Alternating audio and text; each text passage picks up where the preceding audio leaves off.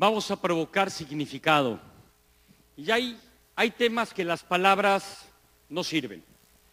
Es más, gente como Schopenhauer y como otros decían que para expresar los sentimientos se necesita la música, se necesita el arte, porque hay cosas que no se pueden explicar. Y algo que no podemos explicar es, es esta inmensidad de arte, de rock acústico, de talento, de lo que significa tener en este espacio el gusto de transmitirnos con el corazón con dos excepcionales mexicanos. Para ustedes, para mí, para todos nosotros, gocemos Rodrigo y Gabriela. Bienvenidos.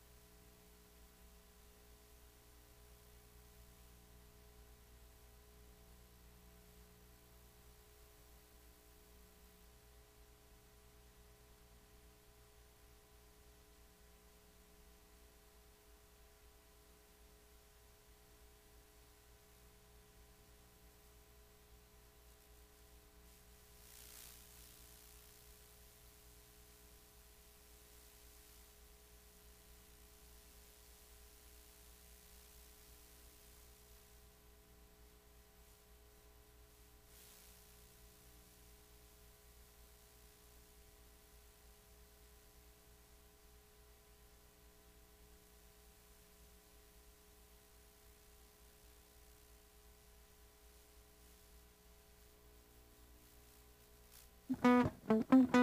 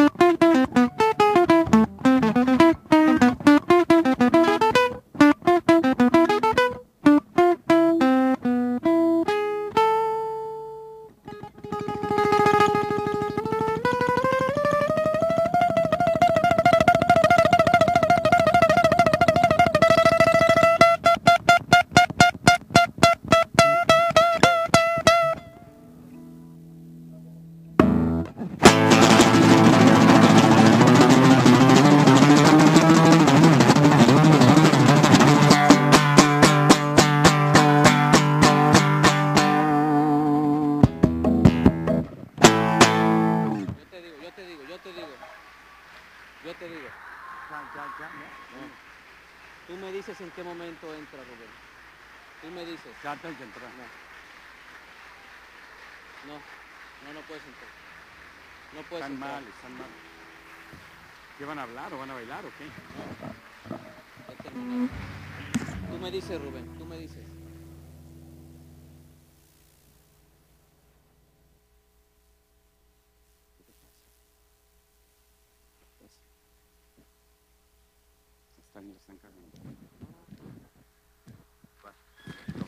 Dime, dime Rubén. Wow. Speechless, Rodrigo y Gabriel. El, primero algunos anuncios administrativos, eh, compartirles que tenemos una carpa al lado izquierdo para algunos que quieren hacer un tipo lounge, viendo esto en video, tomando algún refrigerio, pero por supuesto es simplemente una alternativa que se ha puesto pensando para su comodidad. Dos, acabamos de recibir la extraordinaria noticia. A ver, les platico rapidísimamente. Esto está planeado que cada uno de los ponentes digan sus ideas en 11 minutos. Entonces, cuatro de las cinco secciones están hechas así. Sin embargo, hay una excepción, que es la cuarta. Y nos acaban de dar, la cuarta es una mesa redonda, es un debate, donde realmente la gran pregunta es hacia dónde se debe dirigir el G20, con grandes personalidades en materia de salud, en materia de cambio climático, de pobreza, de economía, etcétera. Pues acabamos de recibir la gran noticia de que el presidente de la República nos va a acompañar a moderar ese panel, lo cual es un honor para todos nosotros. Por ende, les pedimos que al término de la comida, a las cuatro de la tarde, en lugar de las cuatro y cuarto, tomen sus lugares de manera puntual para el arribo del señor presidente y para que todos nosotros gocemos un exquisito, un exquisito manjar intelectual de las ideas, las preocupaciones y las propuestas más relevantes del siglo XXI para el mundo. Y si este, si este panel, si esta sección, regresando a lo, a lo de aquí y a la hora, al Dasein, es sobre provocar significado, un tema que no puede pasar por alto es la importancia de la responsabilidad social, la importancia de utilizar el arte como un provocador, un provocador de causas, un provocador de resolver problemas, un provocador sobre todo de conciencia social. Nuestro próximo invitado es no solamente un gran emprendedor, no solo el representante de los B20 para México, lo cual nos orgullece. No solamente un gran líder en materia de cines, tiene la cadena de cines más importantes de América Latina, Cinépolis, sino que ha hecho a través de sus programas artísticos, como son Presunto Culpable y De Panzazo, un tema que nos ha hecho a todos los mexicanos repensar el futuro, pero también repensar los temas de todo el mundo, no solo de México. Alejandro Ramírez, más allá de un emprendedor y un agente de gran responsabilidad social y ejemplo como arte provocador, es sin duda alguna un ser humano mensch, como se dice en alemán, un ser humano íntegro. Con nosotros compartamos la problemática y la propuesta al tema educativo. Alejandro Ramírez, bienvenido.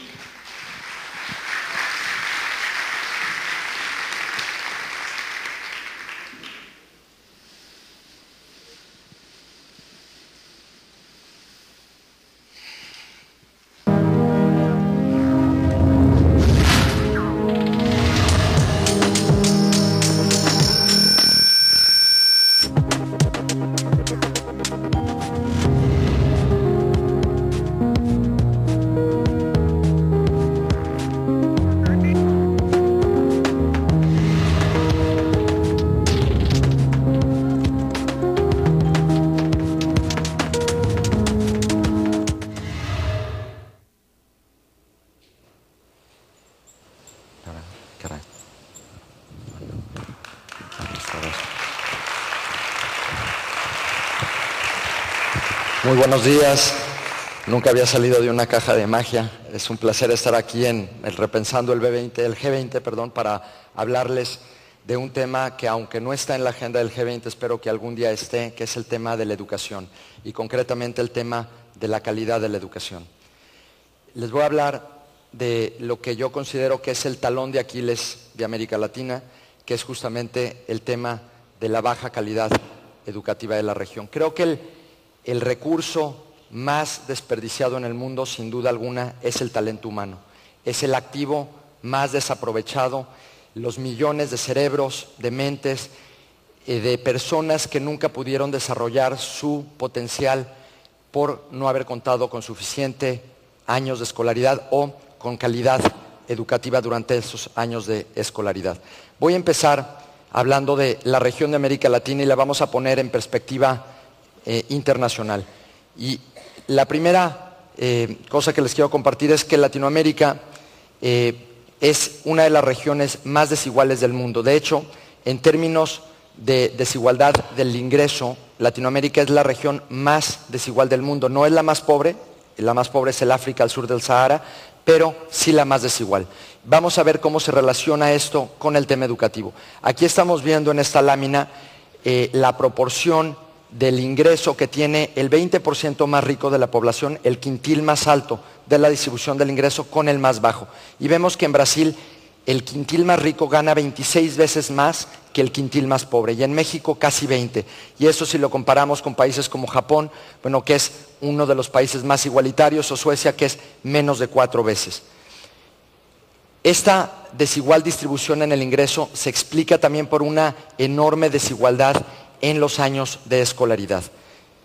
Aquí vamos a ver la brecha educativa entre el quintil más rico de población y el más pobre. En México, que es el que tiene la mayor desigualdad en América Latina, es de más de ocho años de desigualdad entre el quintil más rico y el quintil más pobre. Y eso únicamente hablamos de los años que pasa un estudiante o una persona del 20% más rico versus el 20% más pobre sin considerar que la calidad de esos años también puede diverger de manera muy importante. Y aquí, bueno, tenemos todos los países de Latinoamérica, todos están entre 5 y 8, así que en toda Latinoamérica tenemos este problema de enorme desigualdad en años de escolaridad.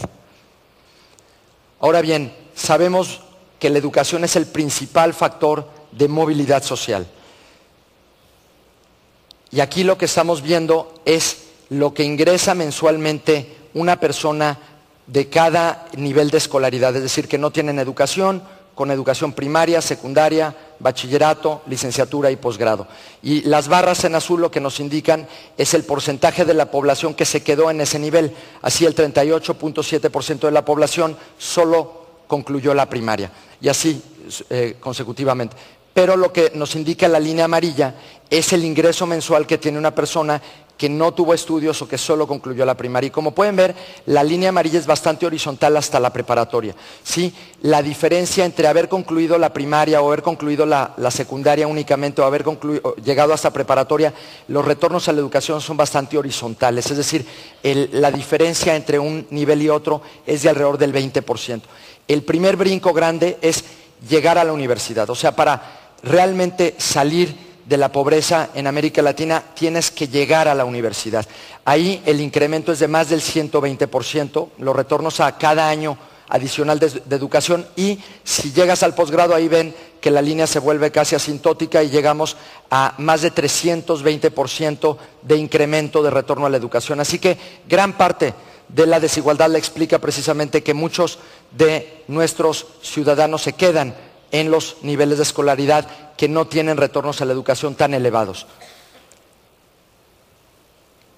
Ahora, nos hemos concentrado hasta el momento únicamente en años de escolaridad, en cantidad educativa. ¿Cómo estamos en términos de calidad de la educación?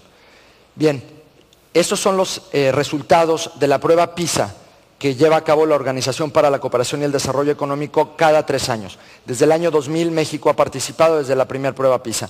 Y esos son los resultados de la prueba de matemáticas que se, les aplican a, estudiantes de 15 años, ya sea de tercero de secundaria o de primero de prepa. Y aquí podemos ver sorprendentemente que la ciudad o estado que quedó, no, no país, pero sí ciudad, este, que quedó en primer lugar a nivel mundial fue Shanghái, la ciudad de Shanghái, en China.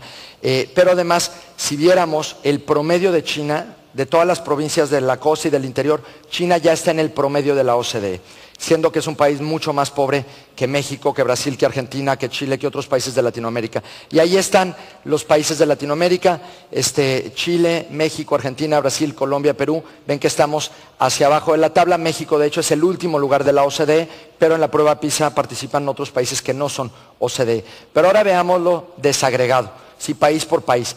Y aquí lo que muestra esta gráfica, vamos a ver toda Latinoamérica, es la parte roja, son los estudiantes que salen con niveles de 0 o 1 en la prueba PISA.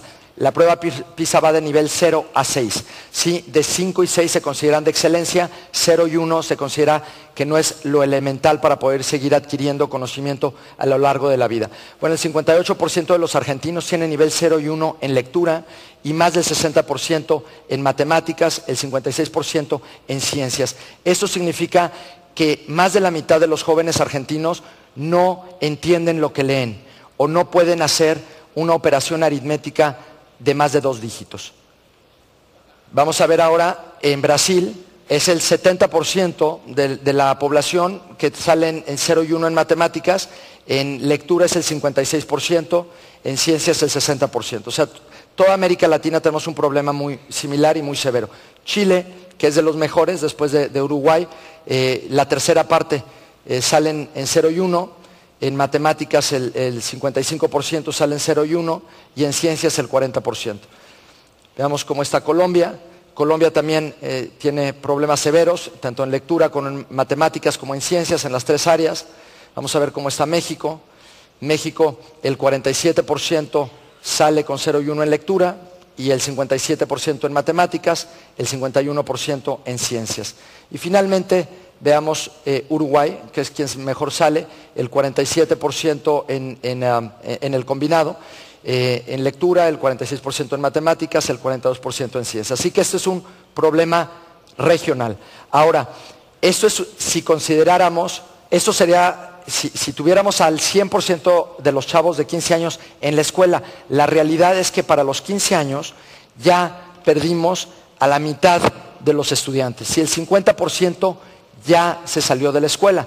Entonces, el, del otro 50% que nos queda, la mitad no entiende lo que lee, la mitad no está pudiendo eh, eh, aprender. Entonces, eso nos queda que efectivamente únicamente nos queda un 25% de los chavos eh, que están pudiendo tener las capacidades o desarrollar sus capacidades para seguir aprendiendo a lo largo de la vida. Ahora, si nos vamos nada más a excelencia educativa, a la parte eh, de excelencia, los que salen en 5 y 6, aquí vamos a ver cómo pues, países como Hong Kong, Corea, Suiza están más arriba, eh, más del 20% de estos eh, países salen con niveles de excelencia. Ahí vemos Estados Unidos, el Reino Unido, 7%, 11%, y aquí vemos Latinoamérica, como Uruguay, que es el que mejor sale, solo el 3% de los chavos uruguayos salen en excelencia, pero si vamos Brasil, Argentina y México, el 1% de los estudiantes salen en excelencia.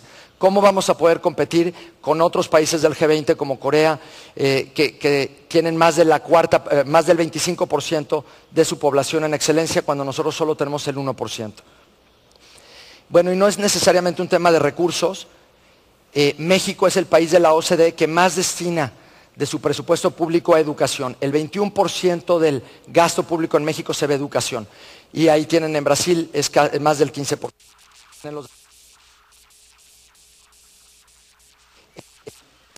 micrófono, en términos eh, absolutos, pero eh, en términos relativos, pero también en términos absolutos. Aquí vemos cuánto gasta cada uno de esos países por estudiante. Vemos que en Argentina son 2.700 dólares contra los rusos, que es 1.700 dólares. Y vean ahora el porcentaje de niños en excelencia o de jóvenes en excelencia en cada país. Si Rusia invierte menos que México o Argentina, eh, por estudiante ya en términos de dólares, en términos absolutos, y tiene siete veces más alumnos en excelencia, que son los monitos rojos. O sea que no es necesariamente un tema de recursos, obviamente con más recursos podríamos hacer más, pero con lo que ya tenemos podríamos tener resultados mucho mejores. Eh, esto tiene un gran impacto en el tema eh, de innovación, en el tema de crecimiento económico, como ya oímos también en la plática de, Juan Enríquez, cómo los centros de crecimiento están en los centros de conocimiento. Aquí vemos el número de patentes por millón de habitantes.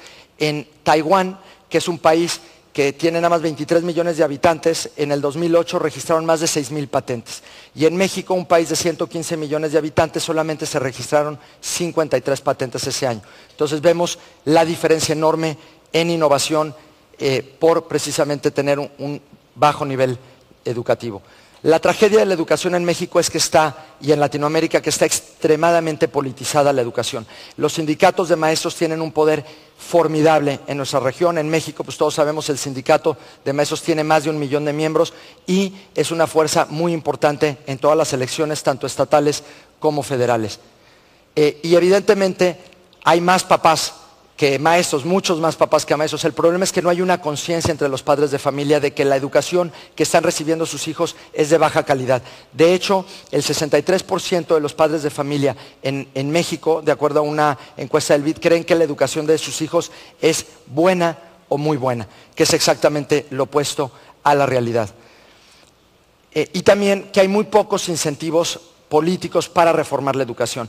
Tú reformas la educación y vas a tener los plantones en reforma o en todas las avenidas eh, principales. yo soy de Morelia, y tenemos un plantón de la coordinadora desde hace más de una semana, más de un millón de niños que, no tienen clases por los maestros que están oponiéndose a la eh, reforma, a la evaluación universal. Sin embargo, eh, no hay incentivos porque todos los beneficios de reformar la educación son a largo plazo, pero los costos son inmediatos. Son que al día siguiente te toman las calles, los beneficios solo se ven en el mediano y en el largo plazo.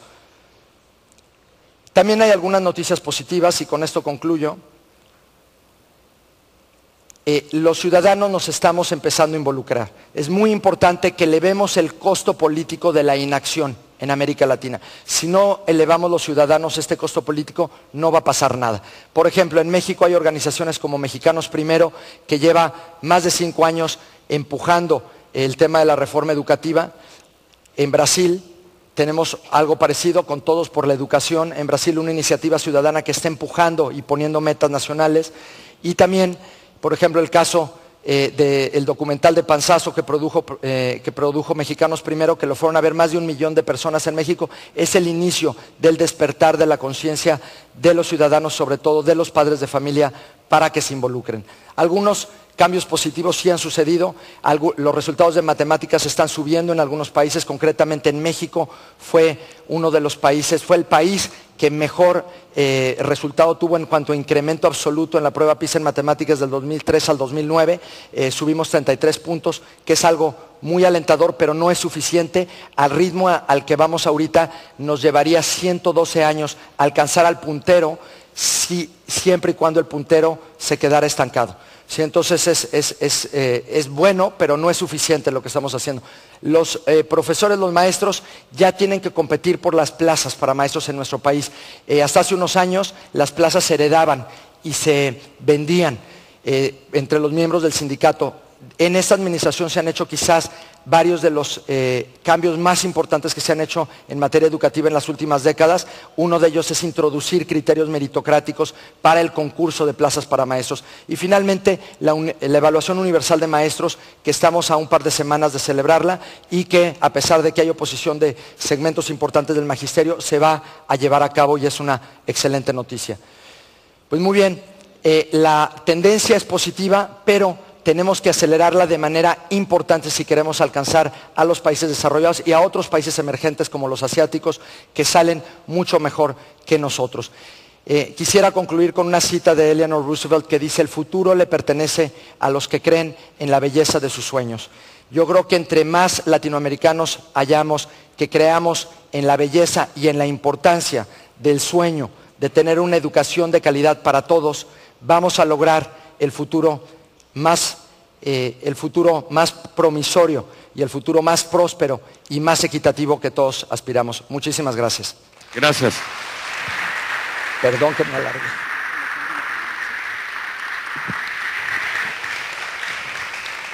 Alejandro, muchas gracias. es tanto oral para repensar el G20, el tema educativo, que Esther Wojcinski, que está con nosotros, el profesor Baguati, que también nos acompaña, y por supuesto tú, pues lo han tomado y los hemos invitado por este tema toral.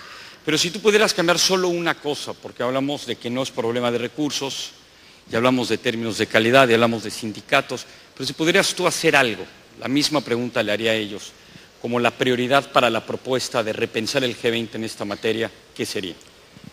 Bueno, en materia del, G20 hay un, hay un, grupo de trabajo que ve temas de empleo y sociales y creo que ahí clarísimamente el tema educativo es toral porque eh, para tener más y mejores empleos tenemos que elevar la calidad de la educación. Y si me preguntas qué haría a nivel nacional, a nivel de país, la eh, acción más importante que es eh, para, para, subir la calidad educativa es elevar el nivel de la docencia. Hay un estudio muy importante que hizo McKinsey que demuestra que lo más importante pues es el maestro es qué, tantas habilidades docentes y capacidades tiene para enseñar a los niños. Y en ese sentido, eh, pues en México se están empezando a hacer algunas reformas, como lo que decía de concursar las plazas para maestros, la evaluación universal, que va a ser apenas un primer diagnóstico para ver dónde están las deficiencias y eh, eventualmente pues también poder vincular eh, el, desempeño de los estudiantes con los incentivos y la compensación de los maestros. Muchísimas gracias. Alejandro Ramírez, un aplauso. Gracias. Muy bien. Es el momento de cambiar de posición, relajarnos, viajar al tiempo, ver una película cuyo mensaje es no creas todo lo que piensas. Sal de la caja, quítate de prejuicios y, ¿por qué no? Disfruten un previo launch. Con ustedes un gran, un gran corto, un cortometraje para cambiar de ambiente. Que lo disfruten.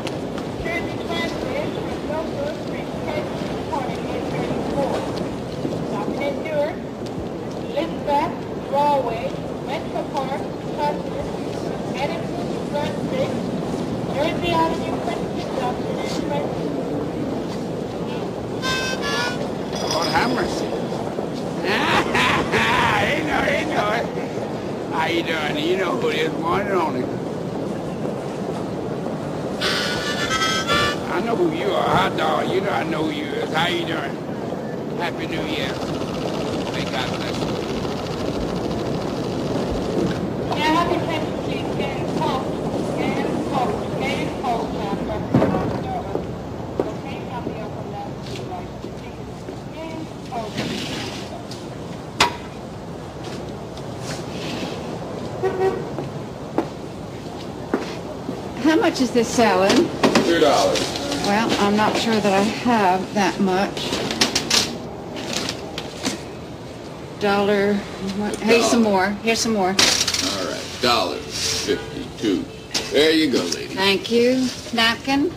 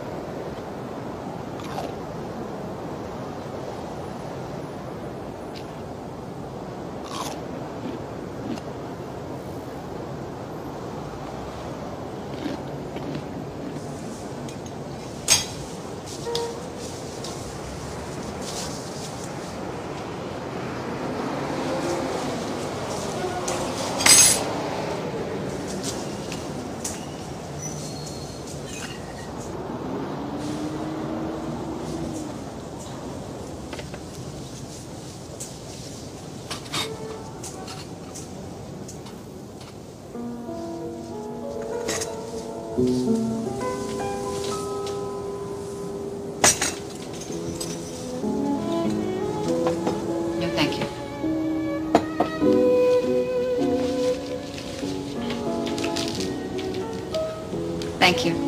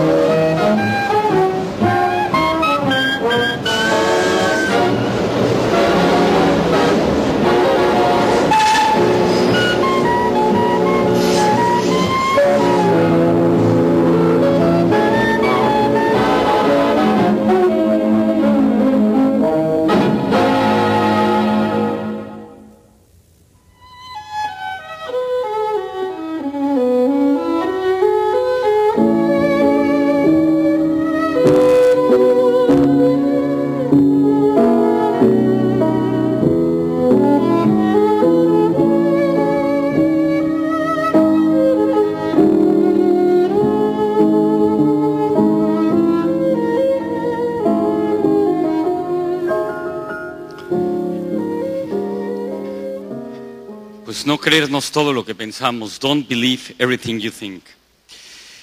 Y si alguien nos ha hecho abrir los ojos y realmente poner atención en los temas trascendentes y repensar lo que el mundo debe de ser a futuro, es sin duda alguna la Fundación Bill y Melinda Gates.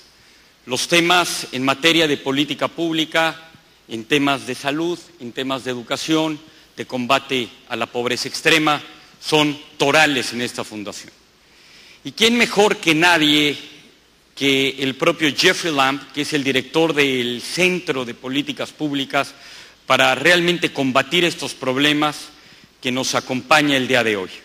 Es en, es en todo sentido una persona que se ha dedicado, pero no solamente con la gran intencionalidad de resolverlos, sino el cómo lograrlo. Antes de ser el director de esta importante misión, fue vicepresidente del Banco Mundial en las áreas de la corporación financiera. Señoras y señores, con ustedes Jeffrey Lamb. Welcome.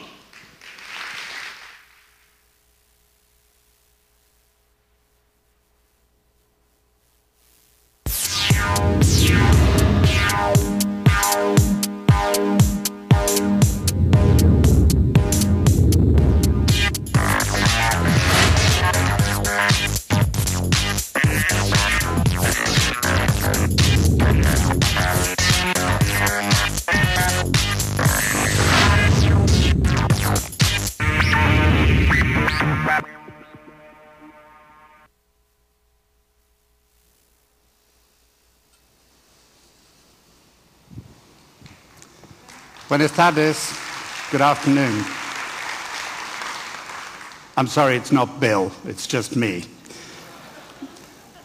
So I wanted, I want to talk about, uh, about meaning of the G20, and by meaning, partly what I want to talk about is the longer term.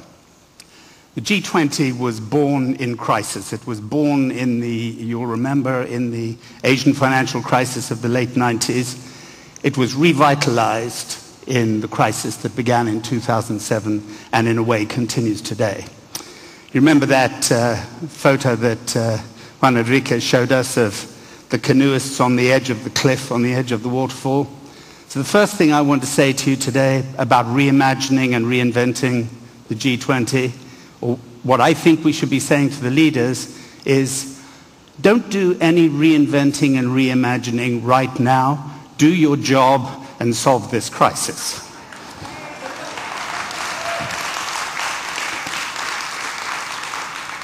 But we also know, I think, that we've got longer term things that we've got to worry about. And this group of countries, this massive group of the world's population, I think roughly about 60% of the entire population, is at the dynamic heart of how we can solve these problems. And let me just remind you of a couple of the longer term things we ought to be thinking about. We have had fantastic progress in the world, including in some of the poorest countries. And that's been by their own efforts. To some extent, it's been by smart aid that has helped them inoculate their children, solve some of the problems of productivity, grow some of the businesses and communities. But we know that still today, 4 million children die every year of pneumonia. In most developed countries and even in many countries in Latin America and elsewhere, people hardly know what you're talking about when you talk about childhood pneumonia. But 4 million kids, 97% of them in, in developing countries, die of what is a treatable and prevent, pre- preventable disease. It's an example of the human waste, the waste of potential that I think we were just hearing about. Almost a million, about 850,000, mostly children, die of malaria every year. Thank God malaria has been largely brought under control in this hemisphere. But in many parts of the world, and particularly in Africa, it's a huge problem and a huge killer. Again, there are solutions, more solutions are needed. It's the sort of thing where the combination of brains and economic power and political will can make a transformational difference. We need that transformation. Then let me take you a little bit longer out in time. There are roughly 7 billion of us on this planet now and we're aware of the climatic stresses and the, the difficulties it already causes. There will, without fail, be at least 9 billion by 2050 in the lifetime of many of the people in this room. Fortunately for me, this is not a problem I expect to contend with personally, as you can see. But for all our kids, for some of us, for our kids, our, our grandchildren, there will be 9 million mouths to feed every year in a world in which today a billion people either go hungry or are on the margin of hunger.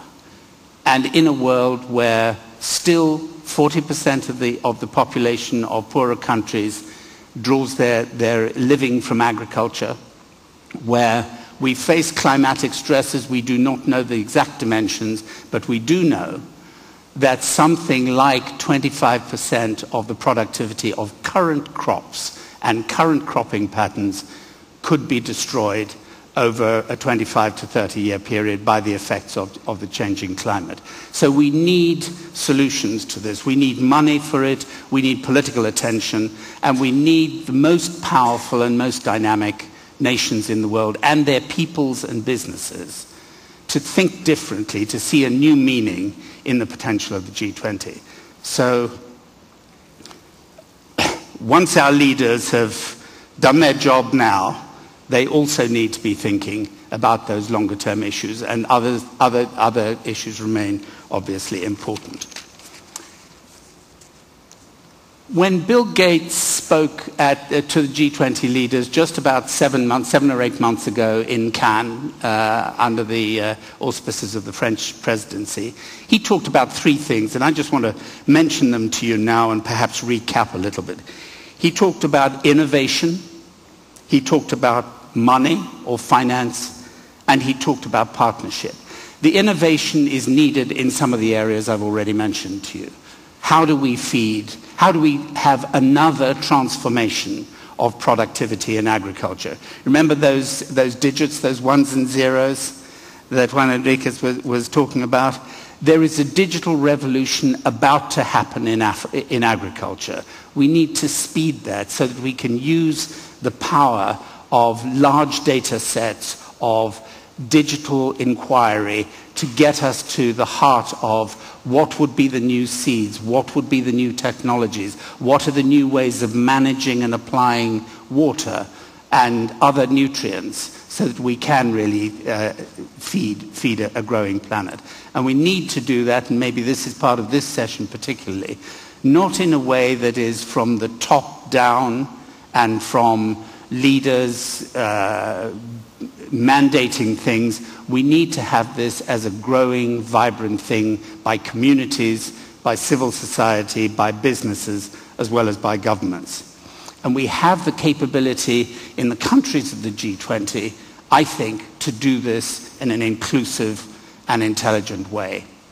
So when we talked about, uh, when Bill talked in, in Cannes about innovation, he gave some examples. He pushed the leaders to say, the G20 ought to be able to look at some of the problems in some of the countries which they have just emerged from and have fabulous fresh ideas rather than the tired old formula, formulas which you sometimes see, including from the industrial countries, the rich countries lecturing the poor countries Uh, with yesterday's lessons and yesterday's solutions. So we need that vibrancy, that fresh experience, and we need it applied to, to the problems that are there now. That will take money.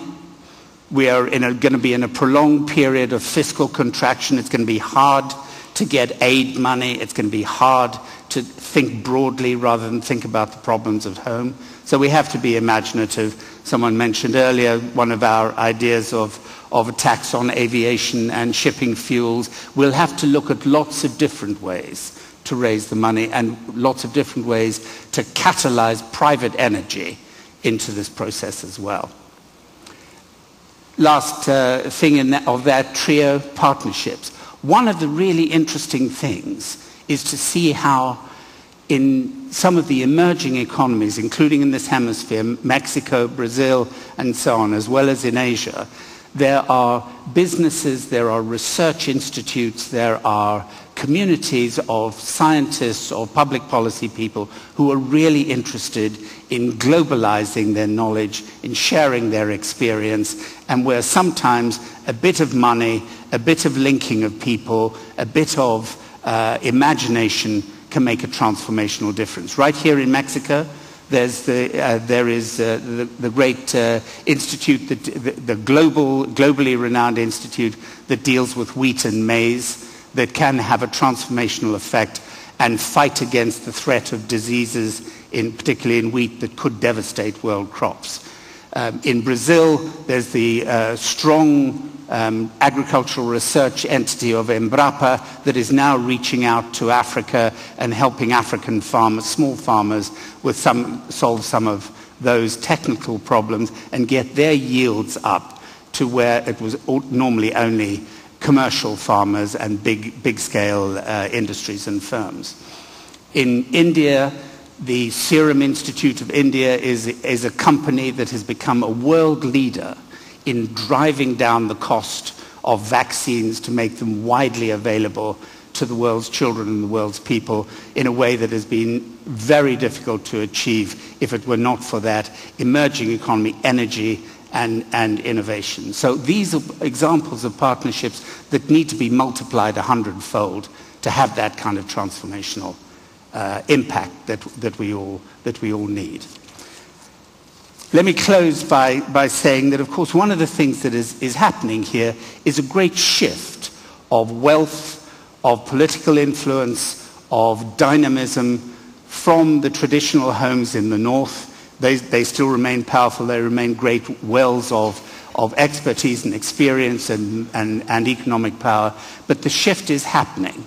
And what we need to make sure is that that shift becomes a real benefit to the whole of mankind, and, and including those that are not yet part of the, the G20 world. So I think that is a huge business opportunity. It's a huge public policy opportunity. And I've got one thought to leave you with, perhaps. And that is one of the things that's happened in the G20 is the growth of great businesses and huge wealth and hugely successful entrepreneurs. And if any of them are in this room or if any of them are listening, I would like to say to the billionaire, the new billionaires of the G20, since we're also supposed to be talking about role models in this session, if you'd like help with giving all of it away, uh, Bill, Bill and uh, Warren Buffett will be delighted to talk to you. Thank you very much.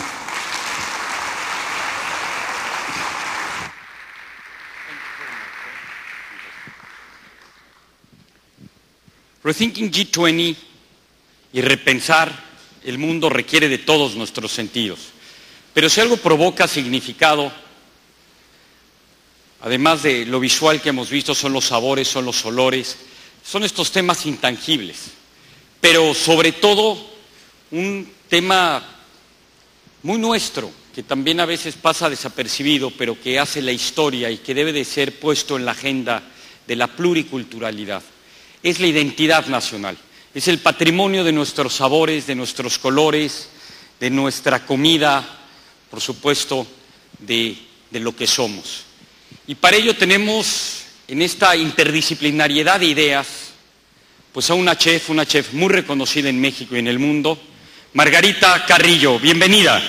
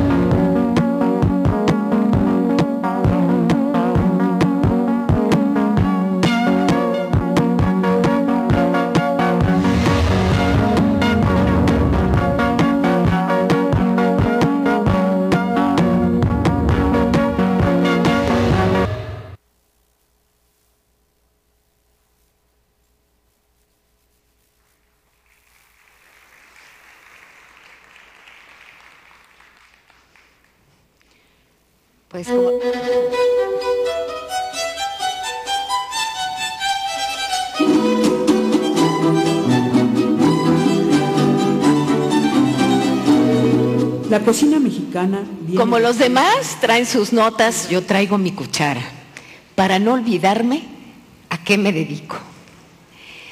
Les quiero contar que cuando me invitaron a formar parte de este panel, yo dije, ¿y qué carambas voy a decir en este foro de grandes economistas y decisiones tan importantes?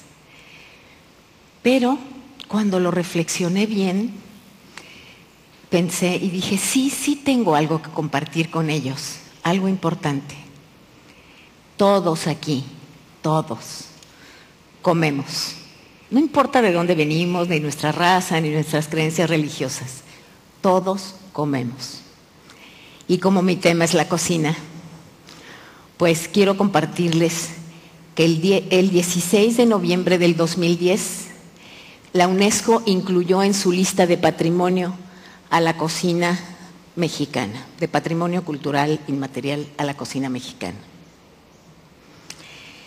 La cocina mexicana no es solo un cúmulo de recetas, es todo un sistema cultural que va desde la milpa, desde el campo, hasta la mesa de los mexicanos y las exportaciones.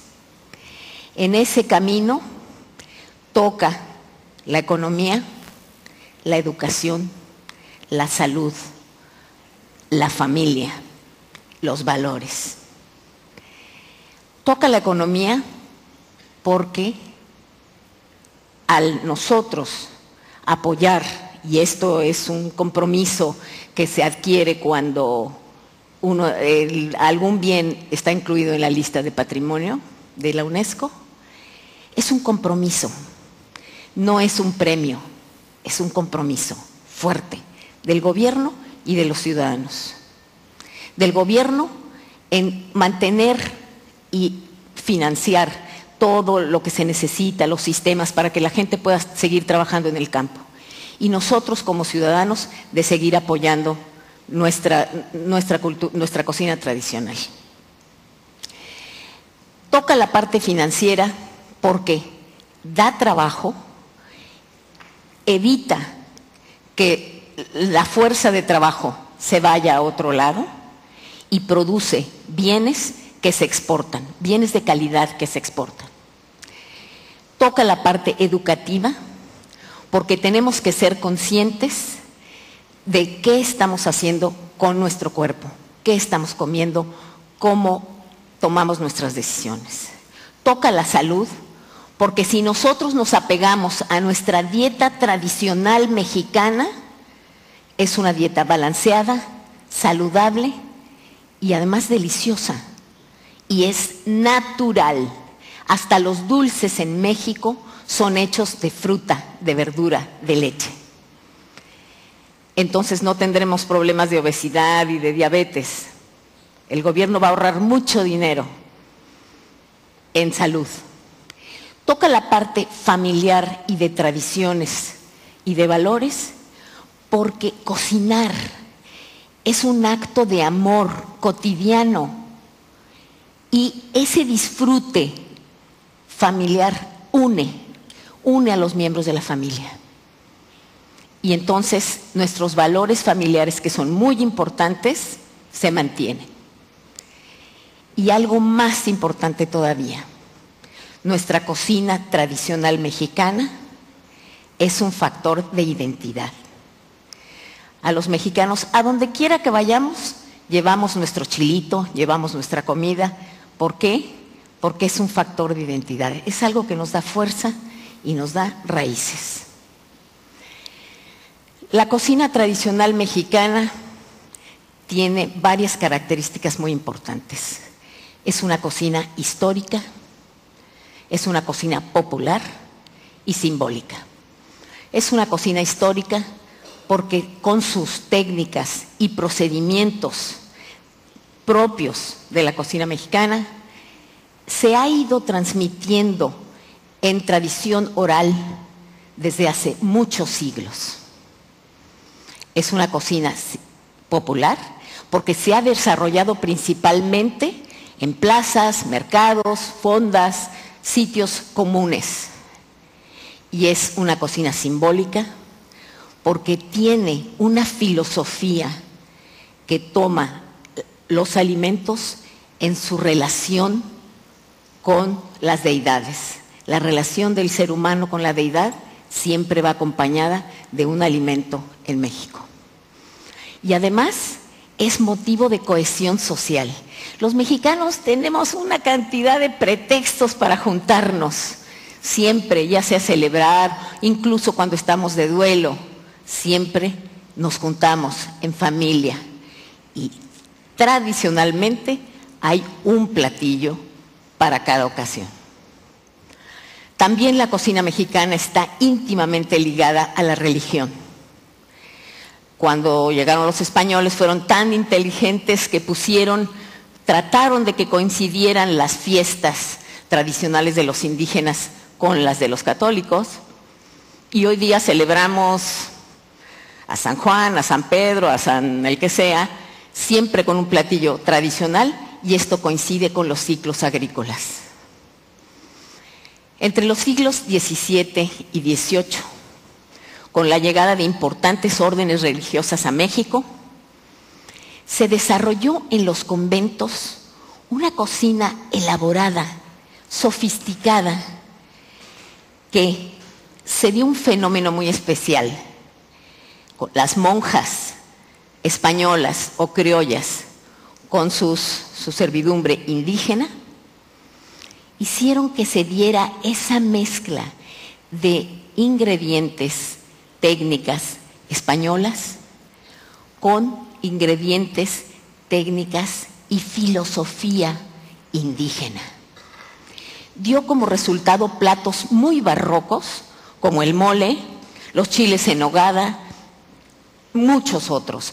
Toda la dulcería tradicional de México se dio en los conventos.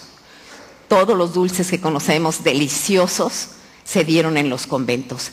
Ahí fue donde en realidad nació la cocina mexicana que conocemos hoy. También muy importante es que la cocina mexicana tradicional tiene las mismas técnicas desde tiempos prehispánicos hasta la fecha. Como ustedes lo pueden ver en el video, el maíz, nosotros hoy comemos las mismas tortillas que comieron nuestros antepasados. Con, la técnica de la nixtamalización, que hace que el maíz, que es de por sí, eh, es un cereal desbalanceado, cuando se somete a la nixtamalización se convierte en un cereal altamente nutritivo y permite que tengamos muy buenos dientes porque tiene mucho calcio. Ustedes ven eh, restos arqueológicos y todos tienen sus dientes perfectos.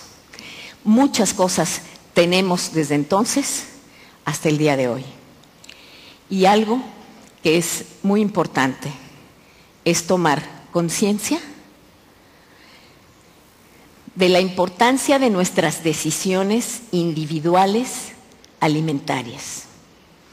Si nosotros, en lugar de ir a consumirle a la marchanta de la esquina que vende quesadillas, vamos a una tienda de estas de comida rápida y compramos un sobrecito de algo industrializado, estamos dejando de dar trabajo a la gente que siembra, que cosecha, que cultiva, a la gente que todo el sistema cultural que significa la comida mexicana está involucrado. Yo los invito a que tomemos conciencia de la importancia de nuestra cocina como expresión cultural. La cocina es la expresión más vívida de, la cultura de un pueblo. Y nosotros tenemos una cultura muy rica, tenemos una cocina extraordinaria. Yo he tenido la oportunidad de llevar esta cocina a todo el mundo. Con un orgullo les digo que se quedan con la boca abierta las gentes que la prueban de los sabores, de la calidez, de la variedad y del refinamiento. Los invito de todo corazón a que le demos a la cocina mexicana la importancia de expresión cultural y la dignidad que se merece. Vamos todos a consumir cocina mexicana tradicional, sin fusiones ni tonterías modernas, con toda la salud y con toda la tradición que implica. Muchas gracias.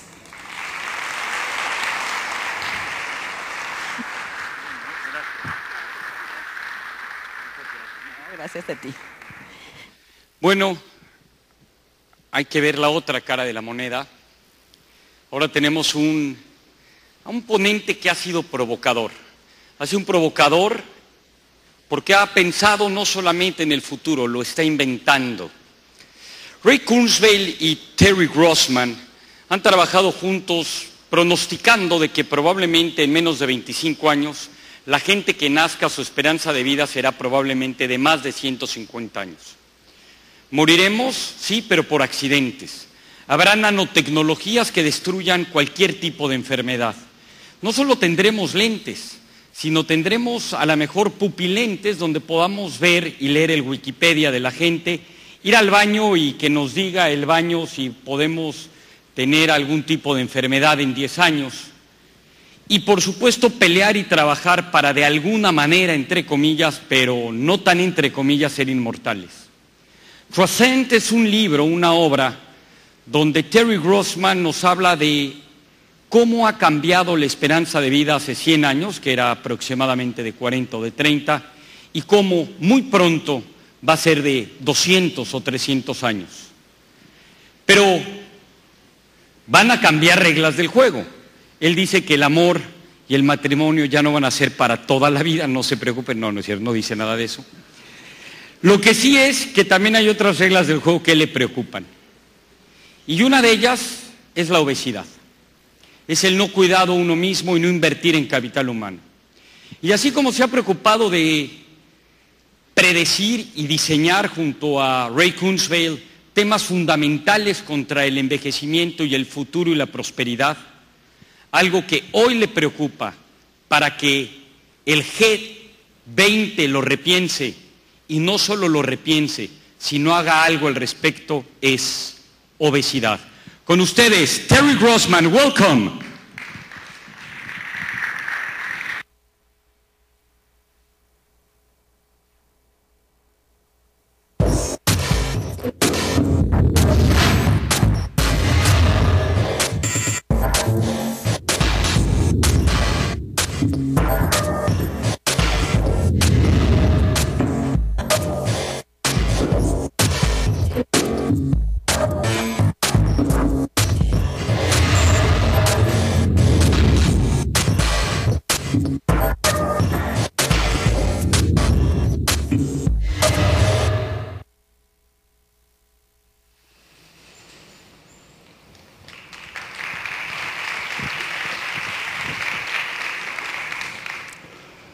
I am a practicing doctor from the United States, and I see patients in my clinic every day, and one of the biggest problems that my patients face is that of overweight and obesity.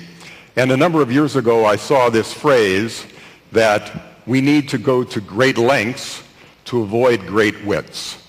And I think this is an item that the G20 needs to consider because the problem of global obesity uh, has become extremely severe and is becoming more critical all the time. Humankind has reached the dubious distinction that for the first time in history, there are now more people who are overweight at one and a half billion than are malnourished and starving, which is about 1.1 billion. In most of the developed world, the problems center on overweight and obesity. But interestingly, in much of the underdeveloped world, there are simultaneous problems where much of the population doesn't have enough calories to eat and is starving, yet much of the population also is overnourished and has a number of diseases secondary to having too many calories. There are a number of diseases that are specifically related to whether we have too many calories to eat or too few. For instance, with undernutrition, uh, our immune system doesn't work properly, and people that are malnourished are subject to infections. There are diseases such as kwashiorkor due to lack of protein, marasmus due to lack of total calories, but there's a completely different set of medical problems that are a result of eating too much. And in particular, the incidence of high blood pressure, type 2 diabetes, heart attack and stroke, cancer, arthritis, and asthma are much greater in people who have too many calories to eat and are overweight. For example, high blood pressure and heart attacks are 50% more likely in people who are overweight and twice as likely in people who are obese. Another problem that comes specifically from overweight is what's referred to as type 2 diabetes. And we can see that there are many countries in the world in which type 2 diabetes is affecting one out of 10 people, and there are even a few countries where it's approaching one in five people. And given that type 2 diabetes can rob an individual of as much as 15 years of their life expectancy, this can be an enormous problem. Worldwide, the incidence of type 2 diabetes has increased tenfold in the last 25 years, from 30 million in 1985 to 300 million today. There are, in the United States, 26 million type 2 diabetics. 1.9 million were diagnosed just in one year, and that works out to one person being diagnosed with type 2 diabetes in the United States, just one country, every 16 seconds.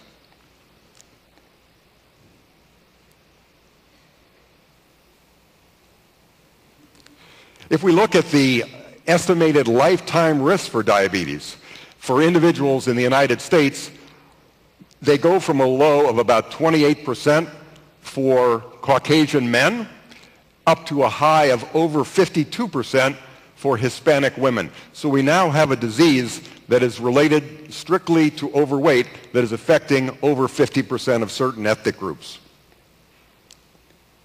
The global obesity forecast suggests that in 2015, according to the World Health Organization, there will be more than 2.3 billion of the 7 billion people on Earth who are overweight and 700 million who are obese. This means that one in three people on the planet will be overweight and one in 10 will be obese, and this will lead to enormous health consequences and expenses. If we look at the distribution of overweight and obesity by country, uh, we can see that our host country, Mexico, has the dubious distinction of being the leader with almost 70% of the population, the adult population, being overweight and over 30% being obese, and closely followed in second place by the United States, where about 68% of the population is overweight. There are significant economic impacts that occur as a result of overweight. First of all are the direct medical costs because people who are overweight, we know they have several other diseases for which they require care. Overweight individuals and obese individuals, when they uh, go to work, there is decreased productivity compared to normal weight individuals, and there is a much higher incidence of absenteeism in this group as well. The transportation costs are significant. Heavy people, overweight people require larger vehicles. They require more fuel to move them around. As just one example, uh, jet fuel, uh, 350 million extra gallons of jet fuel per year are needed just because of transporting overweight people And since jet fuel is now about $4 per gallon, we're talking about 1.4 billion just for moving around by jet uh, overweight individuals. Uh, gasoline uh, for transport in the United States alone is over 2.3 billion in excess costs just because people are overweight. In terms of quality of life issues, we also know that overweight individuals have a decreased incidence of uh, being happily married. Uh, they earn less in their jobs and have a greater incidence of uh, health problems and depression. Total cost of overweight worldwide is over $215 billion per year. One of the true tragedies is what is going on with childhood obesity, which now affects one in three children in the United States, costing $14.3 billion. One of the biggest problems with childhood obesity is when children are obese, they tend to grow up to be obese adults. And we have very little in the way of medical therapies to change that trend. This is a trend that has been increasing dramatically over the last few decades. We can see that it has more than doubled since 1970 in the last 40 years. There are now in most countries in the developed world twice as many obese children as there were uh, just a few years ago. So the question that we can ask is what happened? Why are so many people now overweight? And the reason is actually obvious. Very simply, we're consuming more calories than we used to. Just a few years ago, 50 years ago, the average person consumed about 1,900 calories a day, whereas today it's up to 2,700 calories a day, an increase of 44%. And it's in the form of calories that tend to pack on weight, such as refined grains, fats and oils, and sugars. So this uh, creates a problem. If we look at uh, the average United States woman, an average American woman. In 1960, she was 5 feet 3 inches tall, or 1.6 meters, weighed 140 pounds, or 63 and a half kilograms. We move forward just 40 years, and the average woman has gained one inch in height, but she's gained fully 24 and a half pounds, now weighing 164.3 pounds and weighing 74.5 kilograms. Now, the this is largely the result of our genes. The problem is that our genetic code has not changed appreciably in the last 50,000 years. This means that our genes, the DNA, the software that runs our bodies, is essentially better adapted to individuals living in the Stone Age, living in caves, foraging for food, running away from danger, as opposed to the modern world. The problem is, if you look at our cell phones, our smartphones, our computers, they update themselves every few days.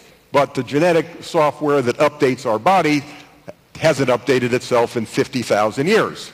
So what do our caveman and cavewoman genes tell us? Number one, they say eat sugar and eat fat whenever possible because what sugar does is we can either burn it immediately for energy, and as a caveman or cavewoman, that conferred a survival advantage, so we could run quickly to escape danger, we could run quickly to catch food, or we could store it as fat, and that's what we tend to do with it today. We eat fat because fat is very rich in calories. Protein and carbohydrates have 4 calories per gram, fat has 9 calories per gram, so we get more bang for the buck when we eat fatty foods. If we are able to combine fat and sugar together into one food, such as ice cream, then we particularly like that because this is consistent with what our uh, caveman and cavewoman genes tell us to do. Now, this information has not been lost on the advertisers, the food industry. They know that we are having these caveman and cavewoman genes, so they capitalize on this, and they prey on it, and they're helping us to listen to what their message is.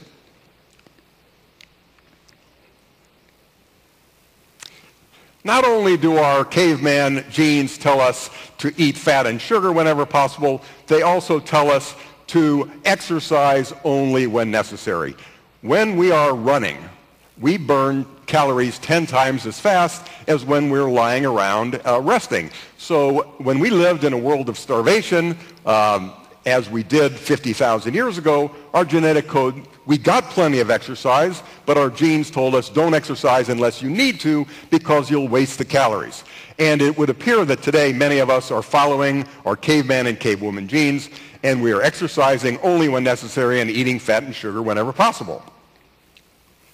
In the future, as Ray Kurzweil and I talk about in our books, we will have these nanobotic uh, robots microscopically floating in our bug streams. They will be doing all kinds of important functions for us. They'll be digesting food. They'll be killing infections. And they'll be available maybe by 2040. And when that time comes, we'll be able to eat whatever we want and not have to worry about it. But in the meantime, we do need to behave ourselves and follow our diets. Now, one way to, to change behavior is uh, Mayor Bloomberg in New York City has recently suggested legislation where there will be a tax on uh, soft drinks that are larger than 16 ounces or 450 milliliters. Uh, this is one way to do it, but uh, I think that there are better ways to do things because people typically respond better to a carrot than a stick. They re- they respond to rewards rather than punishment. And as we look at ways that we can change human behavior, I think that the schools can look at providing rewards for their students that are able to achieve weight loss goals. Insurance companies can provide economic benefits for their subscribers that achieve weight loss goals. Uh, governments can provide tax benefits to their citizens that achieve weight loss goals. So uh, there are many ways that we can approach uh, this global problem. And indeed, it would appear that the time has come for us to go to great lengths to avoid great wits. Thank you very much. Thank you. Para cerrar el sentido de la provocación, de lo que significa lo que somos, pues todo regresa al cerebro. Hoy los estudios de adicciones, de, obes- de obesidad, de cómo interpretamos el mundo, de los monstruos que conllevamos, todo es el cerebro. Pero si el siglo pasado fue del genoma humano, el principio de este siglo es el del cerebro, estamos aún en pañales.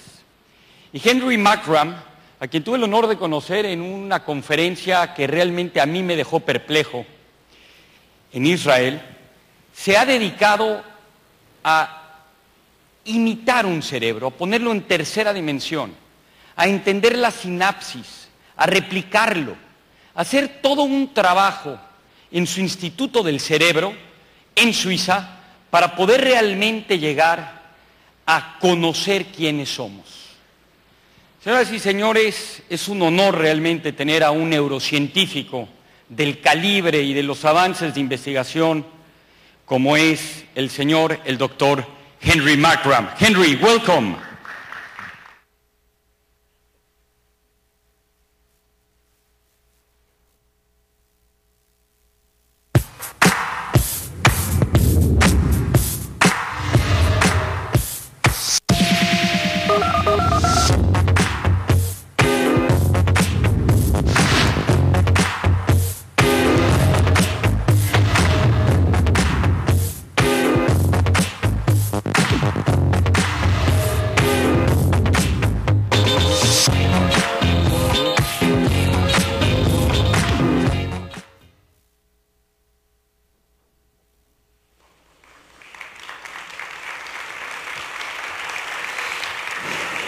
Buenos dias.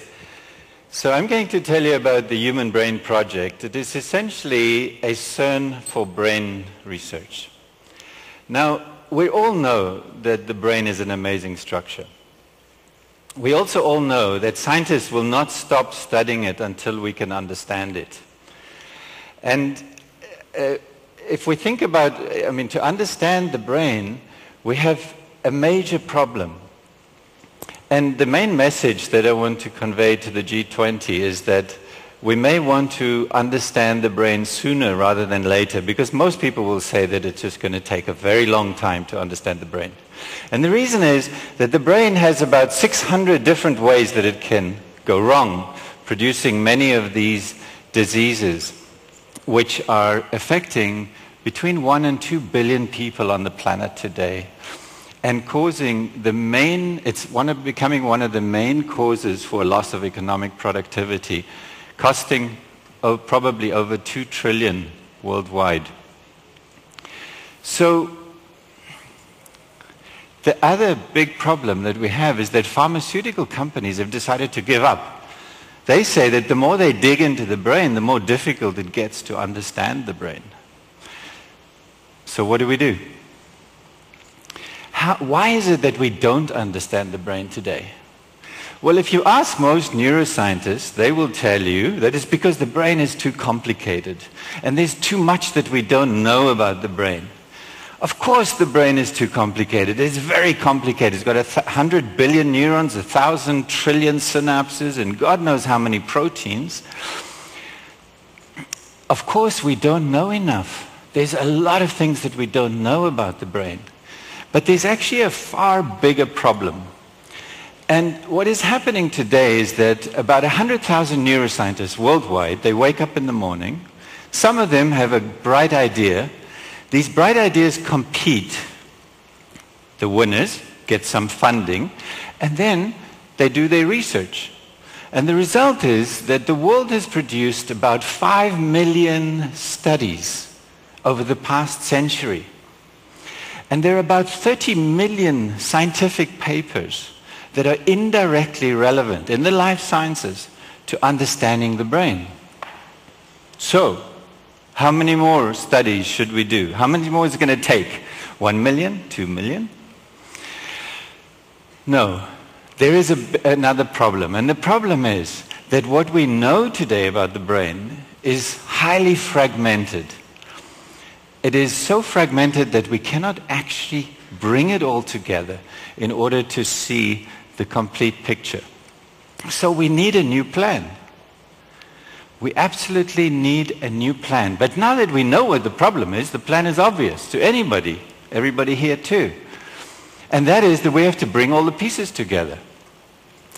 But we're going to need a lot of help to bring these pieces together.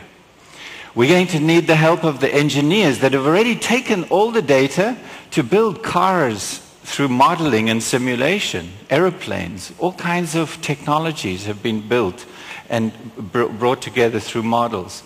We're going to need the help of mathematicians and physicists and chemists and computer scientists and neuroinformaticians to help us analyze the data and to make sense of this data.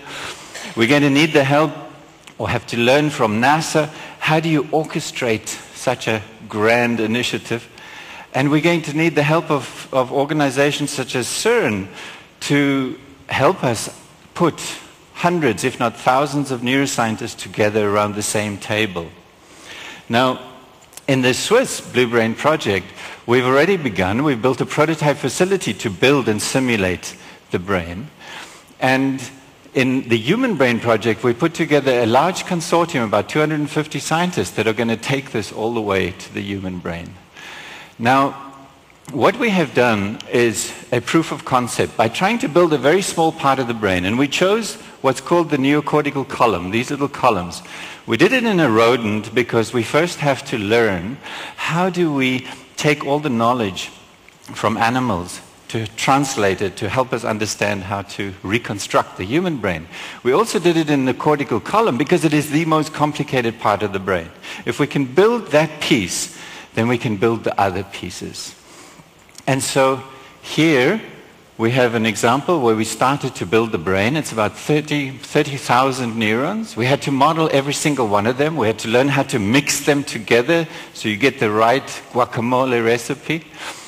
And we also had to learn how to model the individual cells. We had to look at all the data that's out there about every protein that makes neurons come alive and we had to write them into mathematical equations to make these model neurons come alive. But then we had to solve one of the biggest challenges in neuroscience, which is how to connect all of these neurons. In your brain, you have about a thousand trillion synapses, and they sit in very specific locations. And so what we had to do is take all the data that's known about how these cells connect together, and we discovered amazing rules, very simple rules, that today allow us to actually build models and position these synapses very exactly. And the result of this, well, before that, what we had to do is convince our president to buy us a $30 million supercomputer, not an easy task, and then develop the software to actually model and simulate this brain. And here you see this reconstruction of this first part of the brain. Now today, those colors that you see are the electrical excitation as the neurons are talking to each other. And it holds, it's like a library, it holds a hundred years of knowledge. And we can think that we can apply that now to the rest of the brain. So we've got to go from mouse to man. As I said, we've got to take all the knowledge from animals and apply it to understanding the human brain.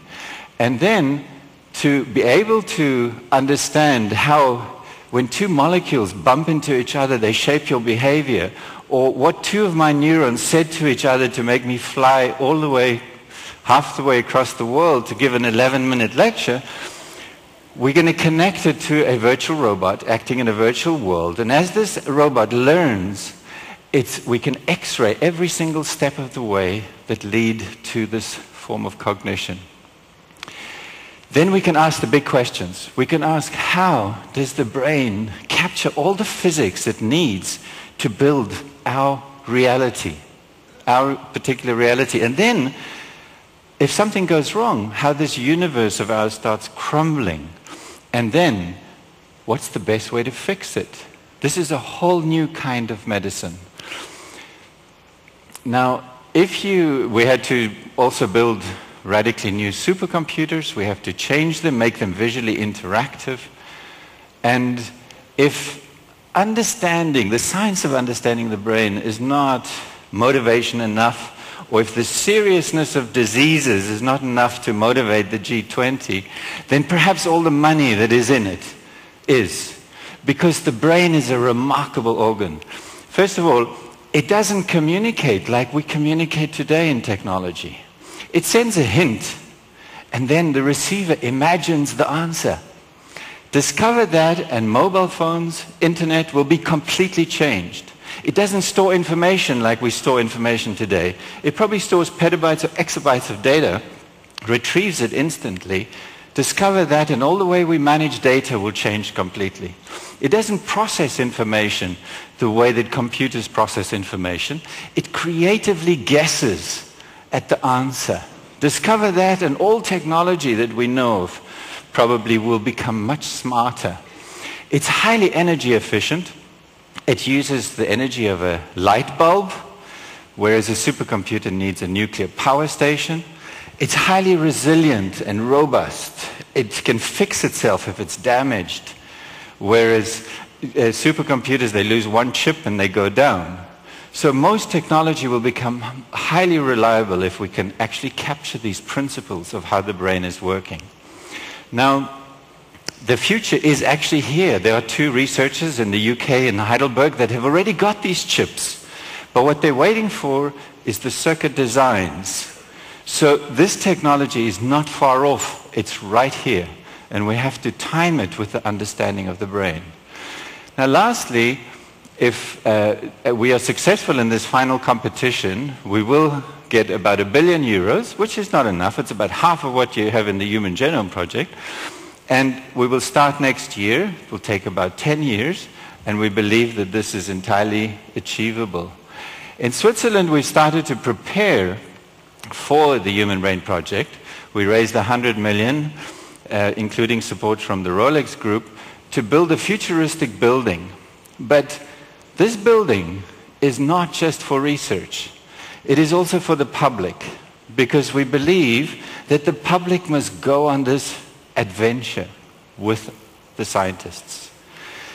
Understanding the brain will empower you and it will take society to a completely new level. Thank you.